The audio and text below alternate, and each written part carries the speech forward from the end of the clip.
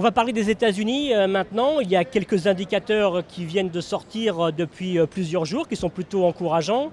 Et du coup, eh certains économistes qui estimaient il y a encore deux ou trois mois qu'il y avait des risques de double dip, nouvelle récession, de voir le PIB américain passer à nouveau en territoire négatif, eh ils estiment qu'il y a moins de risques aujourd'hui. Est-ce que vous partagez cette vision?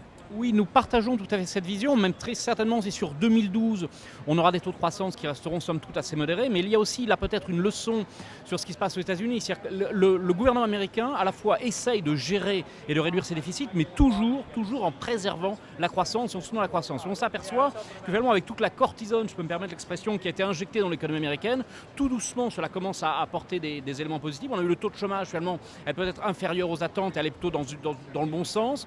On voit un certain nombre d'éléments, les jour après jour qui semble s'améliorer. Alors après, qu'est-ce qui pèse sur le marché? C'est cette inquiétude européenne. On peut peut-être se dire que si aujourd'hui, finalement, le marché est soulagé, que l'Europe n'aille pas vers une nouvelle crise et qu'on ait une nouvelle avancée positive, ça va peut-être permettre, je veux dire, au bouchon américain de, de, de, sauter, de repartir et de laisser le Dow Jones ou le S&P continuer à monter.